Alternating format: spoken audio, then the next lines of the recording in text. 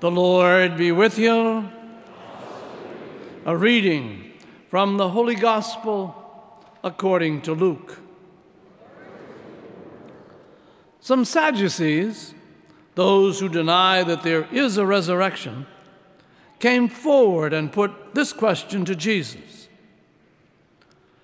Teacher, Moses wrote for us if someone's brother dies, leaving a wife but no child, his brother must take the wife and raise up descendants for his brother.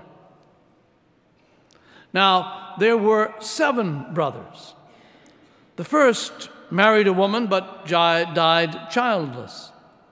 Then the second and third married her, and likewise all the seven died childless. Finally, the woman also died. Now, at the resurrection, whose wife will that woman be? For all seven had been married to her. Jesus said, The children of this age marry and remarry. But those who are deemed worthy to attain to the coming age and to the resurrection of the dead neither marry nor are given in marriage. They can no longer die, for they are like angels and they are the children of God, because they are the ones who will rise.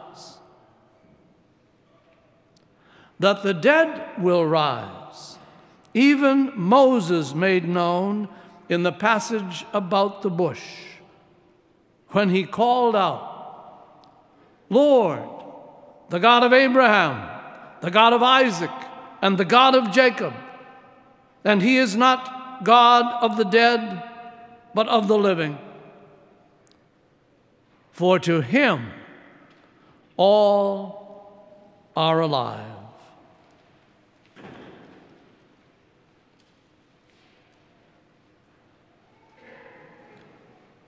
The Gospel of the Lord.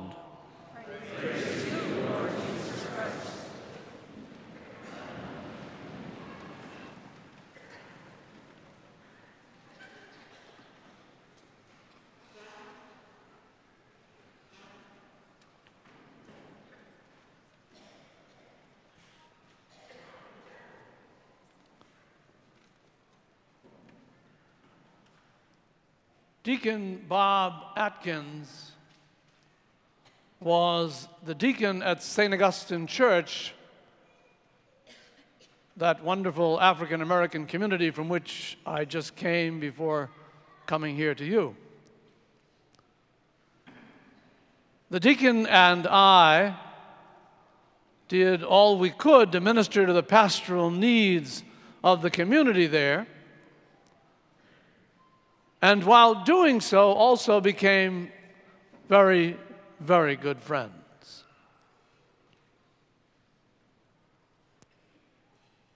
Deacon Bob used to say to me, particularly when I would get myself in a jam, as pastors frequently do,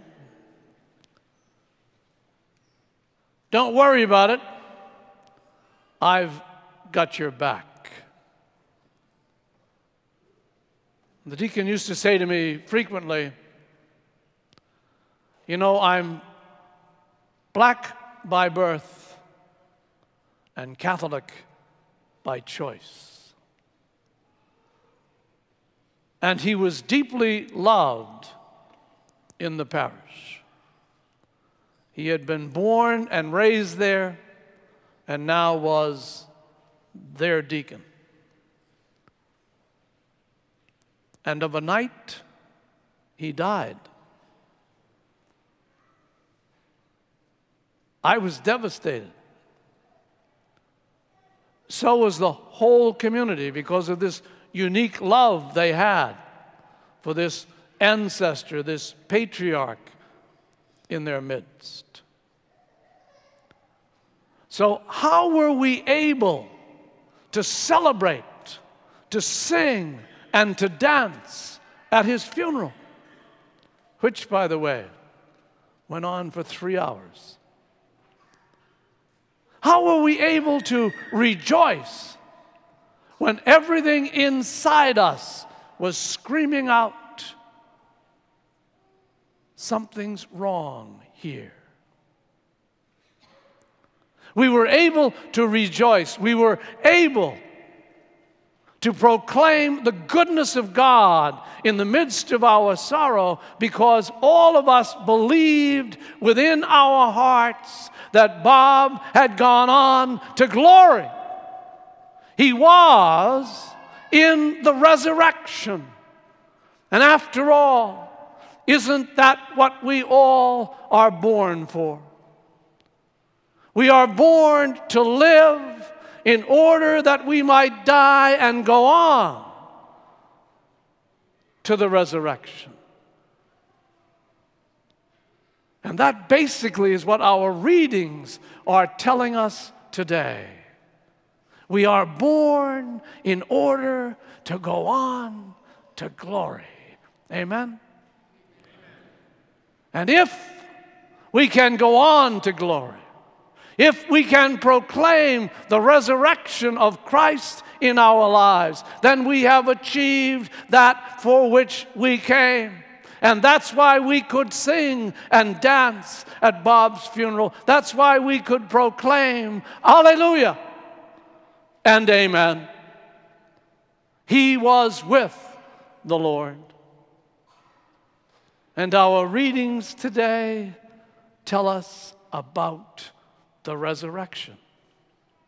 The first reading is taken from the book of Maccabees. We don't often read from Maccabees.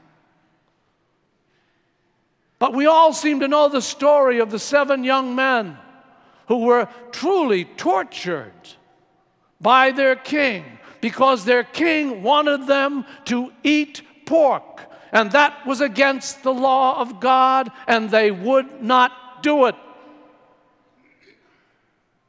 And so the first young man said to the king, What do you expect to achieve by questioning us?